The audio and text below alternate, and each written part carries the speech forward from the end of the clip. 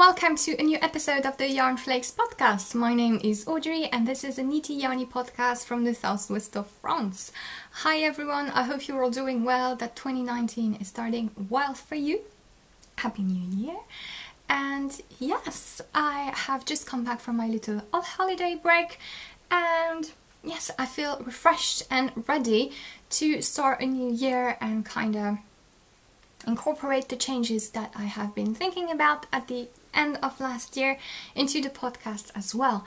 So you might not see a big difference in terms of the format, but I do want to think more about what my podcasts bring uh, in terms of being instructive and informative and yeah, basically I just decided to try and select a little bit more the content that I share with you so that my podcasts aren't just very long, rambly videos of me showing off projects that I don't have much things to show share uh, about because they're just vanilla socks or whatever.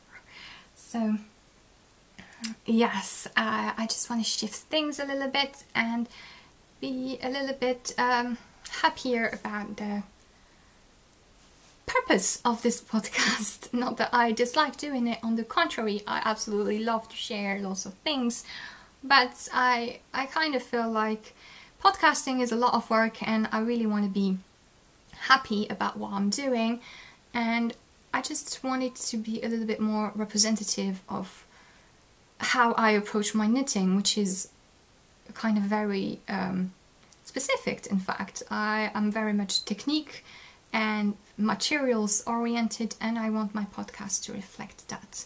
So I will just be a bit more selective about the projects that I share here on the podcast and try and make shorter videos overall.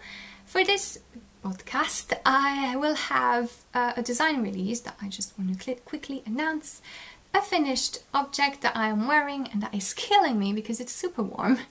I also have two works in progress that are super interesting. Uh, super interesting, I mean that I actually have interesting things to share about them. And um, I will finish with a very special yarn that I have just received for a collaboration and I want to share the project with you a little bit.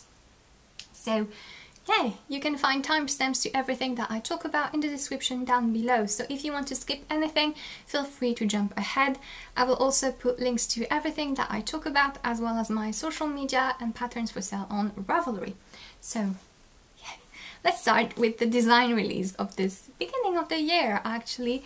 And it's a project that you have already seen because I've been knitting it on the podcast. So I'm not gonna get into too much details about it, but ta-da! the Poppa Shawl is live on Ravelry. It is available, I will put the link in the description. Yes, hello mom, what do you want? Oh, my mom is texting me. Hello mom. Uh, she's not watching. This is an asymmetrical triangular shawl that features lots of garter stitch, one color brioche and mosaic knitting. And it's a really relaxing knit that is easy to adapt to however much yarn you need.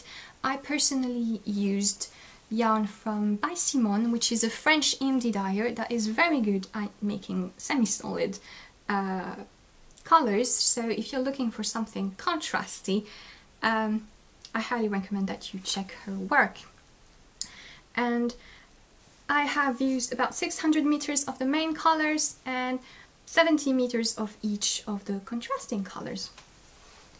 So the pattern is easy to adapt, it's really quick and relaxing to knit and my testers really liked the shape. I do too, I love a good asymmetrical shawl. It's really simple in its construction. It has small details like um, how to take care of the edging so that it's neat and consistent on both sides. And yes, my testers also have told me that they really appreciated how um, beginner friendly it was because I include in the pattern a tutorial on mosaic knitting. So if you want to learn mosaic, which if you don't know is a technique of color work which involves slipped stitches, so you only carry one color at a time.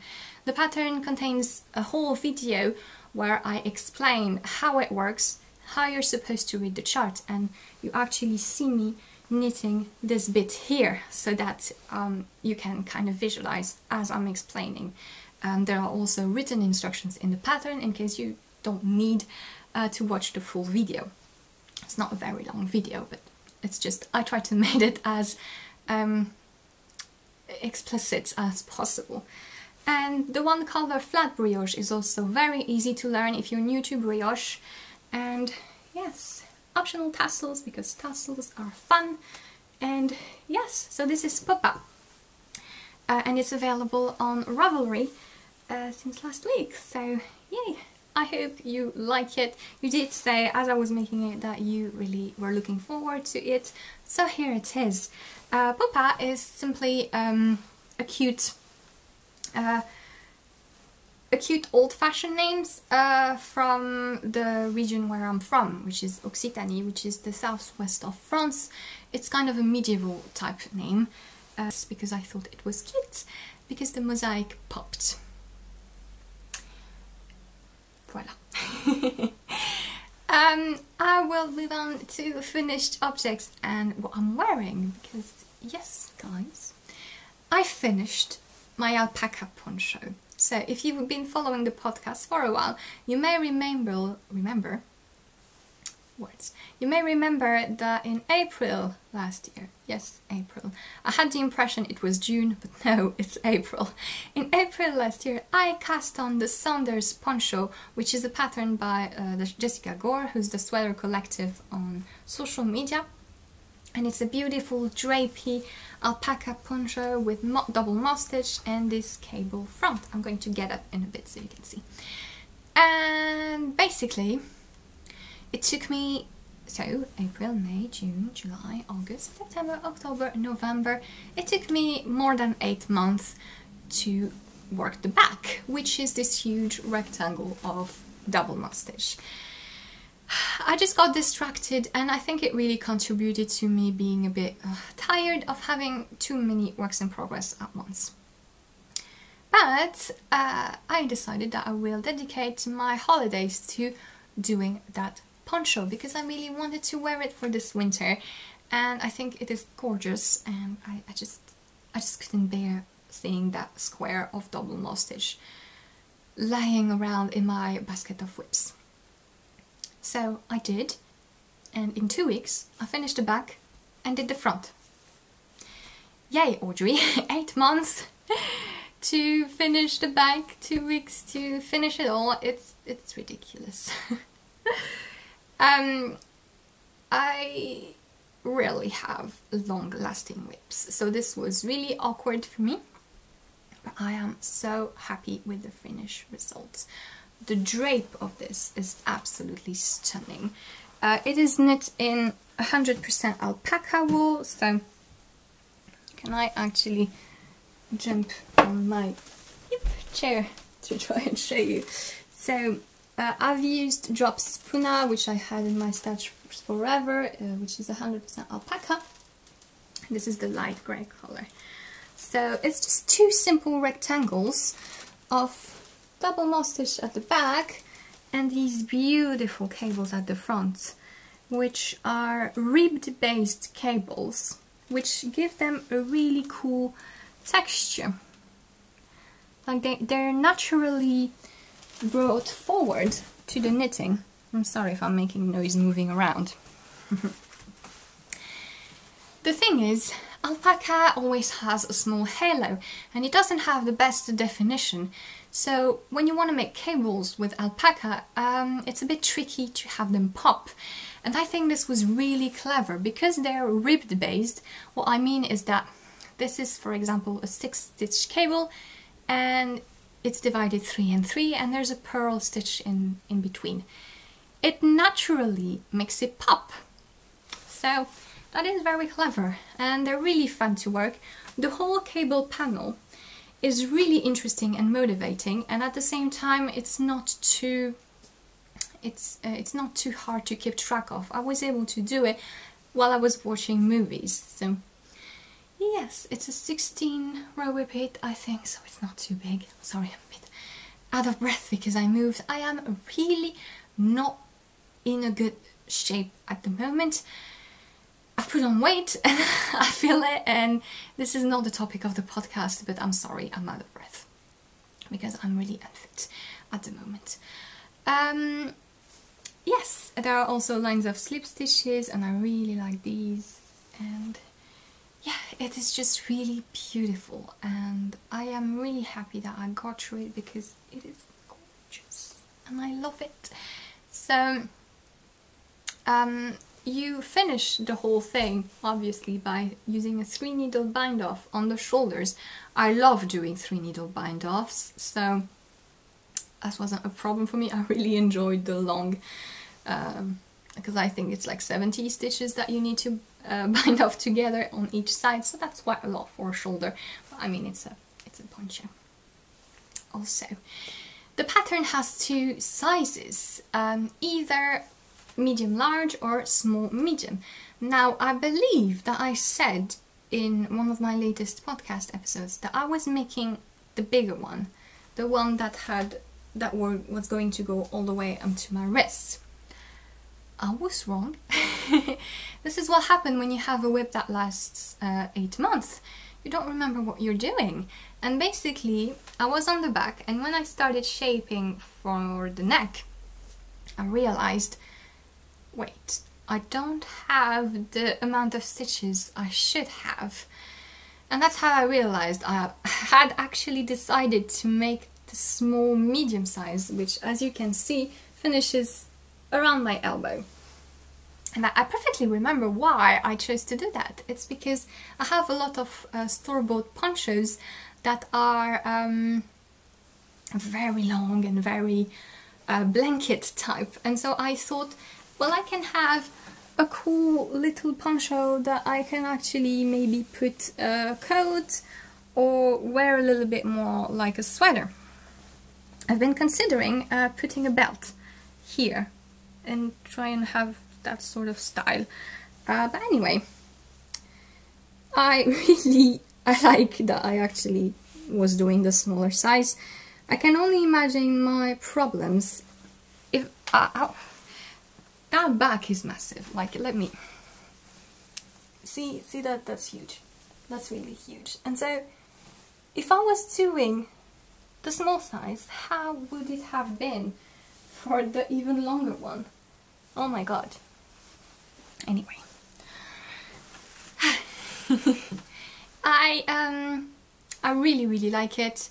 I did want to say yes. Uh, the neckline I modified it a little bit. I picked up 30 stitches less than what the pattern calls for and um, I didn't knit it the ribbing very long which I might change a little bit because it's very heavy.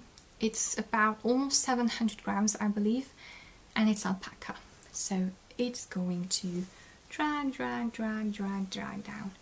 Uh, because alpaca is very drapey and it's very heavy so it's beautiful but it does not keep its structure. Which is not a problem for an alpaca poncho for a poncho overall because it's um, it's meant to be like quite drapey and blankety and really big but um, in the end maybe the neckline is going to end up way way too open. So I might if that happens too much for my liking um, pick it up again and knit it a bit longer. But yeah I already did it shorter on what the pattern suggests so yeah. I think that's all I wanted to say. Let me actually check my notes. Um, um, yes my the back is much longer than the front. I am not sure if that's intentional but if I try and show you again no you can't see much but it is much much longer. About about this much longer which um, I could totally have made um, another repeat of the front cable but I actually kind of like that the back is much longer. It really goes over my um, posterior. I don't know if that's a way to say over my bum, basically. Um, and yeah, it is. Um, it's okay like this, but I just want um, you to know that if you only do 8 repeats of the cable like the pattern says, you might not have, uh, well, my row gauge was correct, so uh, yeah, maybe maybe my um, my row gauge was um, correct in double moss stitch and so obviously in the cables it might not be the same so I probably should have done an extra repeat to uh, get to the right measurements which I sort of did so I'm not so sure what happened. Um, yeah. Maybe it is designed to be much uh, longer on the back. I don't know. I can't tell from the pictures. Yes. I think that's all I had to say about this poncho. I have a little um, wind on the on the tip of my nose and it's driving me insane. I am really sorry if it's distracting. Please, please ignore it. um, blah, blah, blah. I think I've done, I've said everything I wanted to. Indeed, I have. So I can move on to works in progress. And the first one, oh boy, the first one so if you have seen the video about my Make 9, you will know that I wanted to make the For Fox Sake sweater, which is a pattern by Maxime Cyr. And uh, is there a photo? Yes, there a photo. This one. You probably have seen it all over Instagram because it got really popular. I want to make it for my boyfriend for his birthday in February and I have started it so I am really excited and it has been lots of fun so far so I underestimated uh, how complicated the color work would be. It's not it's not that it's complicated. It's it's just that it's definitely not a beginner friendly pattern. So if you love this pattern and want to make it but you're not very comfortable color work wise I don't recommend it.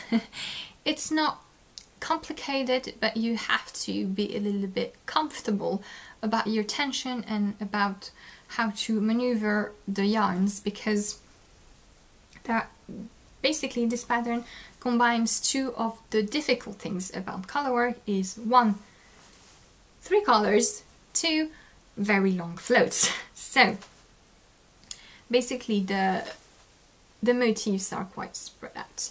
And so you cast on I'm knitting the second size and as you can see oh and you can see the floats through the fabric I don't know if this is going to look good in the end because of that because of these long pieces of mm, just one color when you're actually carrying three colors at once so you kind of yeah.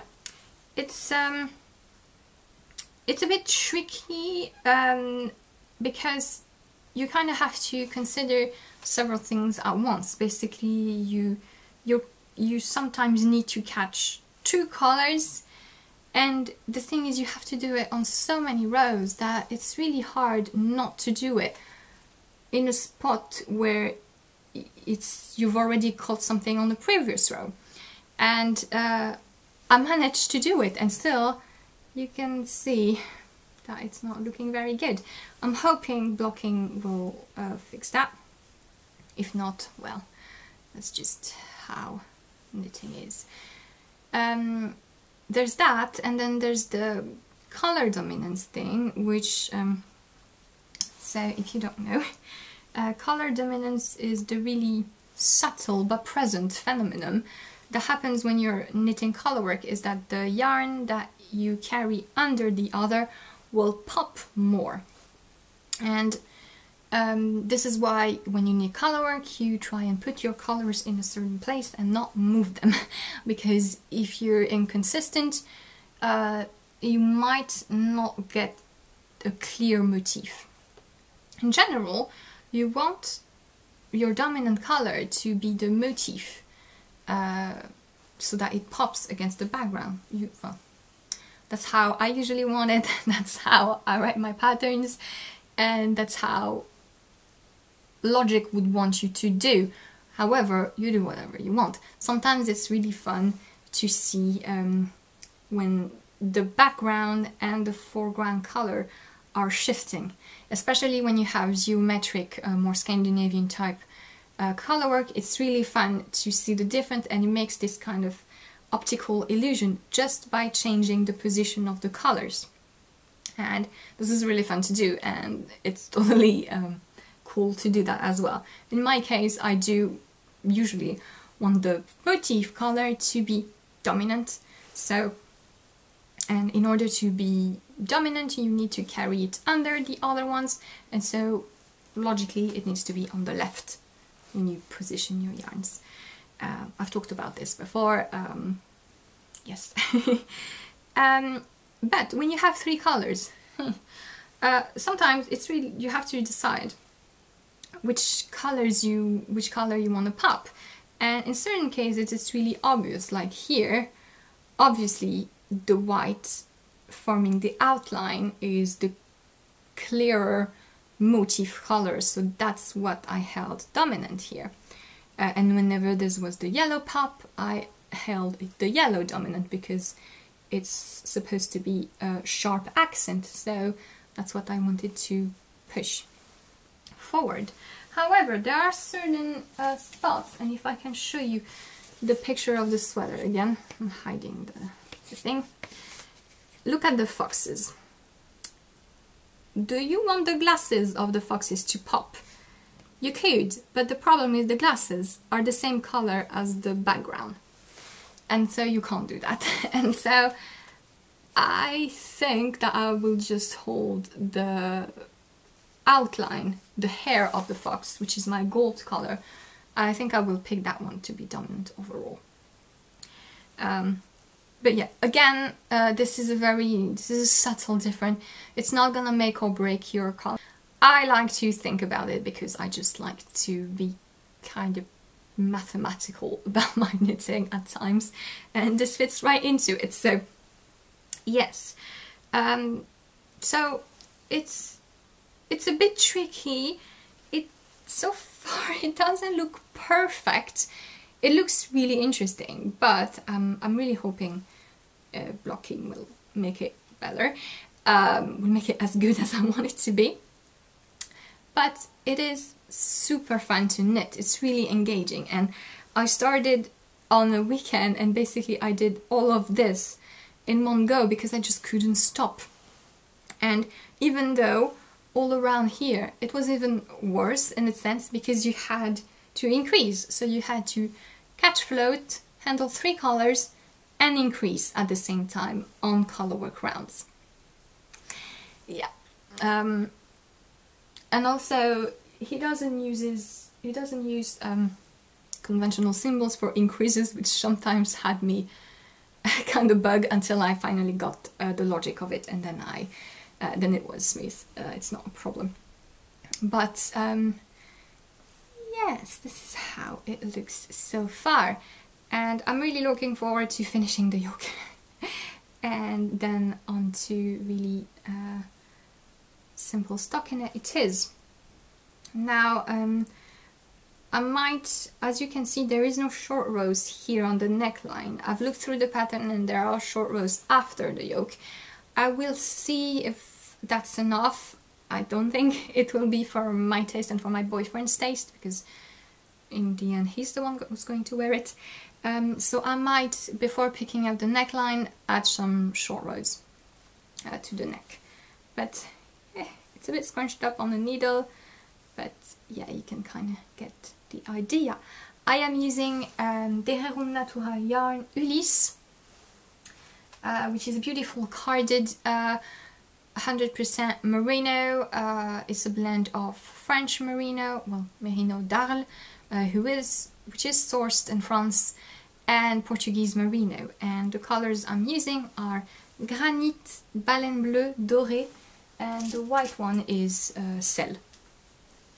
And so, yes, it works really well for color work. But yeah, like I said, here the thing is all the floats that had to be caught uh, in between increases and things and so that's why you if I press the fabric it's awful. Hopefully blocking will make that not happen. Um, yes you can see the head of the fox is appearing. So yeah, I believe that is all. Again, it's really, really fun to knit on. I just, yeah, when I'm on the weekend and I can uh, focus on it a little bit longer, I just can't stop knitting on the chart. I'm halfway down the chart now, a little bit less than halfway. I'm a little bit um, too optimistic about it.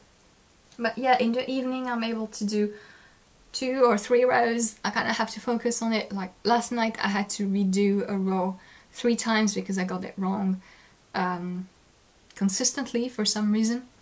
But um, yeah, it's going well and I'm really enjoying it despite the trickiness. So if you fell in love with the sweater, buckle up, uh, make sure you're comfortable color work wise, um, but then it is really, really fun. And yeah, basically, I think that's all I had to say about it. Oh no, I didn't swatch. Ha! Uh, that's what happens uh, when you're lazy. Um, I didn't swatch and I kind of know what gauge I can get with Ulysse depending on the needle size. And so I started with uh, 4 millimeter needles and you can see here at the beginning and I don't know, I kind of felt like this was a bit tight and I wasn't really confident that this would have the ease that I wanted for my boyfriend. And so I switched to 4.5 around here. Basically I switched. Um, it's not a problem because uh, well the sweater needs to be bigger so if I go up a needle size it just makes it even better. Um, but yeah, uh, now I, have, I was able to measure and now I have gauge on 4.5 millimeter. So yes, I'm reassured because I posted on Instagram when I started knitting it. uh, I need to hold three colors to catch a lot of floats and to increase at the same time, but I didn't swatch, so imagine if it is wrong. But um, it's okay, it's gonna be okay. Uh, I will try it on after I uh, split uh, for the arms and body and yeah, I know it needs to be slightly too much for me to be okay on my boyfriend. So, yes. it is very interesting because I am planning a design for autumn, I hope, which will involve uh, holding three colors. And I, thanks to this, I can see which rows pose problem, cause problem, and which rows are okay. So I can now practice on my three colors uh, color work, which I didn't do so much. And so I can uh, kind of get a feel of the right rhythm for it to be enjoyable. And so it really helps me uh, regarding that. So I hope that the design I'm thinking about will be pleasurable to knit and I will be able to make something that works with three colors but um, that minimize kind of the the painful aspect of it at times so that it doesn't alter the rhythm of the knitting.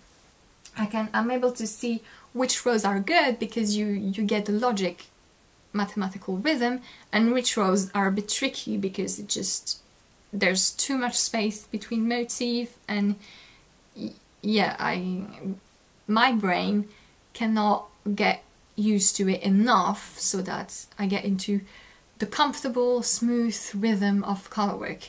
So yeah it's really helping me in that regard. And I am really looking forward to continuing it. Now the second work in progress I want to share with you is a design. And it's a design that I am not keeping secret but I don't want to show too much of it. It's a collaboration with Maison Corlène which um, I have uh, talked about previously because I had made my Tolosa garment out of it and um, as well as the Hildebra which is still not out yet. Um, we're uh, waiting on that but yeah uh, I am working on a new collaboration with them which I'm really happy about and I am using this one which is their Blue Face Leicester 100% superwash Bluefaced Leicester yarn in the shepherd color. And it's a fingering weight yarn. It's a rather fine fingering weight. It has 400 meter to 100 grams. It's nicely tightly twisted and nice and I just really I love BFL and I think this color um, particularly works with BFL it's like a taupey beigey grey and I don't know if you're going to be able to see all the nuances but the thing with BFL is that it's it has that weird slick shininess to it. It feels matte but shiny at the same time. It's really strange. And um, this really subtle taupey sometimes it's beige sometimes it's grey sometimes it's a bit more like you see if I bring it next to my face it looks a little bit more pink. Um, and it's just it's just really working with uh, the BFL and I am really liking it. Um, the idea is to make a nice spring sweater. And so that's what I'm doing. And I have a full body, yay! so um, this is a raglan uh, sweater and the idea is that it's gonna be a fairly simple design. It has a cable panel at the front and yep, you've seen it. It has a cable panel at the front uh, but overall it's it remains fairly simple. So the idea for me is to have a nice precise sizing, a fit that I have haven't done before. So I have done two raglan designs previously. The Tolosa, which is um, a bit blousy, a bit more on the oversized type, which with a, a waist that goes really in and stops here because it's cropped. The Ferriga, which is a bit more large and bulky and countryside coat-like type of raglan with no uh, fitting um, in the body. And this time for this, since it's going to come out in spring, I wanted to have something really feminine but comfortable. So I wanted a fit that is with positive ease, but that it's is still adjusted to uh, you, people's figure. And so, regarding the raglan, as usual the neck is higher. This time you start flat. You actually start flat for the neck and then you join for the in a round. It has more stitches at the front than at the back to accommodate cables and bust. Um, and as far as the raglan goes, it uh, it's a bit curved towards the end as well.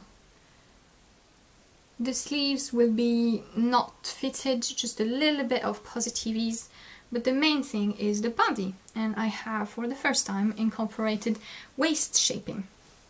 And so the idea, as usual, is in my pattern, in my sweater patterns, that you're able to tailor it to yourself. So I have measured fixed points and I will include in the pattern where you need to do certain things and so I'm going to try and do it so you can see it looks really funny now because it's not blocked and yeah you can see so there is waist shaping and then hip shaping so basically the sweater goes in and then out just before the uh, twisted rib yeah, all the finishes will be in twisted rib. There'll be something special at the sleeves, but uh, I will show you that when it actually happens. So, and I've tried it on. This fits so well. I absolutely love it. It's really flattering. That's what I wanted. I wanted something that is feminine and flattering, but comfortable. And uh, so far it's a success and I'm really happy with it. Uh, it really looks good on me. Uh, and yeah, I can't wait. It's already graded. Um, and basically I need, I'm going to make one sleeve because like I said, the sleeves, um, well, I'm going to make mine three quarter. You can make yours whatever, but there's uh, there's gonna be a detail at this cuff. And so I need to make one sleeve and then I will ask for testers. If you are interested in testing my patterns, keep an eye on Instagram that's why I ask. So I assume I will call for testers for this sweater pretty soon, once I've done that sleeve. But yes, again, I'm going to flash that cable for you. There it is. Uh, it's a simple cable. It's easy to memorize. It's a logic cable. It's mirrored. It's two part and it's mirrored and it's logical. And basically, if you have forgotten to twist some stitches, you will see it right away. So let me just show you more the color. It's absolutely beautiful. I have alternated skeins, uh, even though there were really really similar, I couldn't see any difference, but I have alternated just to be safe and also because, so, you know that a knit stitch before a purl stitch can get really loose. And the thing is when you have a cable panel somewhere, you, you will notice that on the beginning it can be really loose, whereas on the other side it's okay, because a knit stitch after a purl stitch is alright, but a knit stitch before a purl stitch that is surrounding the cable can get really loose. And so what I did is that I alternated stitches, um, alternated yarn just to the side of the cable here so that it will naturally tighten this part. And so that way my two sides kind of look the same. Um, yes, little detail if you are making cables and you're not happy with how the edge of the cable look because one is much looser than the other. Um, I sort of fudged that here by alternating skeins even though I think I didn't have to. But yeah, I kept some I kept some of the first skein that I separated here uh, and I'm going to alternate with my last one. I need to cake that soon, later today probably. And then I'm going to make a sleeve and yes, hopefully this will be done quickly so I can call for testers ASAP. But yes, I really like the yarn. I knitted on uh, 3.25 millimeter needles and yeah, it's looking really good. I really like the, the nuance. I think it's going to be a really wearable, uh, really, really wearable garment and I can't wait to finish it to send it to testers and see if it works and to see what Maison Corlène thinks of the finished thing when it's going to be block and not look like a whole weird thing. but um, yeah, I am really happy with how it fits me so far, so looking forward to continue. This will be called sonate, uh, sonate, sonate, um, which is the French word for son sonata. Son I think you say sonata like the Italians in English, I'm not sure. Um, but yeah, just because I felt that the cable stitches kind of yeah reminded me of of ways and sort of declensions of notes of music notes and it's I don't know I got inspired to call it sonate because I think it works well for a spring garment and it matches the cables logic um, I think this is it for the WIPs. Did I say everything I need to say? yes, yes, yes, yes, yes. Now, now to the last little bit of this podcast is some really cool yarn that I want to share with you. I've been contacted a few months ago by Nomadnoos. I'm really sorry if I'm mispronouncing that um, which is a new yarn, a new brand of yarn. They're based in Switzerland and basically they have a really interesting um, process. What they do is that they hire women from the Tibetan mountains to spin their yarn. So you they um, source yak and um, Tibetan mountain Mongolian sheep uh, wool from them and then they hire so far they have five Tibetan women spinners that they're hiring for their yarn.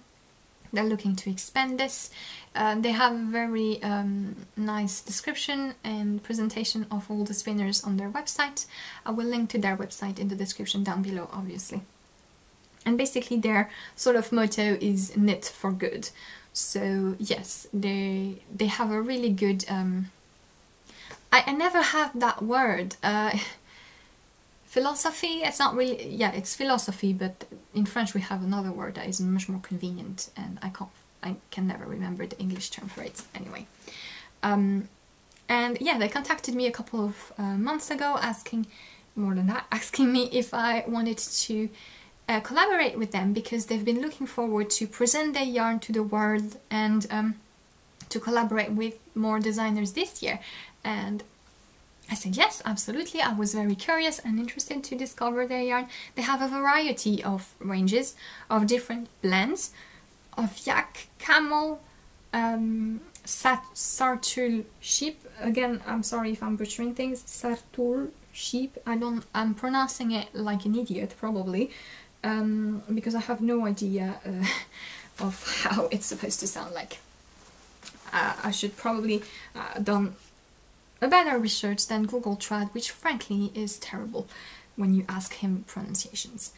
Um, but yes, so uh, we've been back and forth thinking of a possible design that I could make. Have a, an idea for a cardigan um, with a bit of like a simple cardigan with a bit of color work on the sleeves, maybe.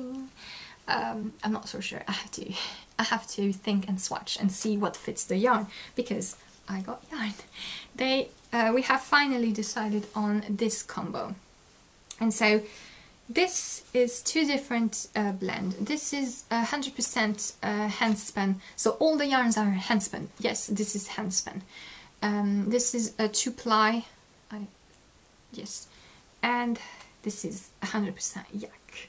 And the colorway is Yes My Eagle Can Do, and it's this stunning rust color. It's beautiful. Uh, I think I'm surprising no one when I show you this. You know, this is one of my favorite colors. It's absolutely beautiful. Obviously it's yak, it's super soft, it has a really good depth. And this is this is Sartuul uh, sheep, smooth Sartuul sheep. So it's 100% uh, wool from uh, herders from Mongolia. It's a breed of sheep that I had never heard of before. It's a breed of sheep from Mongolia. And merino is so bad. this is the softest thing in the world. Compared to fine merino, fine merino really feels super harsh. This is the softest thing. This is softer than the yak. It makes no sense. I touched this and I was what the hell is that sheep? it's absolutely beautiful and melting. It's really, it has the melting gentleness of alpaca, but it's not prickly like alpaca. It's really, really super soft, softer than the yak. I just don't understand. incredible. So it's written like this: Sartuul sheep, and yes. So this is a white Altai white shade, and it's really beautiful. Again, handspun. Everything is handspun. It's great. I absolutely love it. Um, lots of knitters have sort of prejudice against knitting with handspun because it's irregular, blah blah blah. Um, so I think it's a really good thing that they want to put this forward. And what I really like is that on every skein uh, you have the uh, picture, the picture and the name of the person who uh, spun it for you. So this is Sujita and this is Fulmaya and again I'm probably not saying this right um, but yeah and then you can look on their website and see the presentation of the person uh, how they're supporting their families thanks to this a little bit. And I think it's really great what they're doing. So the the brand themselves are based in Switzerland. And yeah it's a small production so um, they have uh, lots of different sized skeins. Um, different sometimes they weigh differently. They're not exactly like this is 54 grams you see this is 25 I have a bunch of them to make hopefully uh, the lovely cardigan I'm thinking about. And yes I am really looking forward to testing this and seeing how it works. Um, yeah yeah I was thinking I was hesitating between a simple cardigan with a cable detail or the colorwork thing I'm thinking about and looking at them I will swatch the colorwork thing first because I think this it, it's what would fit this type of um, of thread. And it's it's a little bit it has a little bit of halo. They're very similar the two of them. Um, they're two ply. They're yeah they they really have a really good personality. Then you can look at the at the little uh, hand spinning um, details that you can see that some are a little bit thinner. I think this will look good in colorwork and yes I'm looking forward to playing with that. Uh, Nomadnoos if you're looking thank you so much. I will uh, really really I will show you the design as it comes to life. And yes so I think with these beauties I have talked about everything I wanted to talk about for this episode. I have no idea if I succeeded in making a shorter episode than usual. Maybe a little bit, uh, maybe not so much. Um, but yes, um, let's say I've just been back from holiday, so if it's long, that's why. Uh, even though I tried to be a little bit more um, to the point than I usually am. So yes, thank you so much for watching this episode. I hope you will have a lovely uh, couple of weeks. I don't know when I will record next. Again, the whole thing is to now only record an episode when I actually have things to say. So I might not be as regular as before. But um, yeah, hopefully you won't mind and yeah, I'm so very grateful for those of you who still watch my episodes and yeah, I hope you are all doing well and I will see you next time. Bye!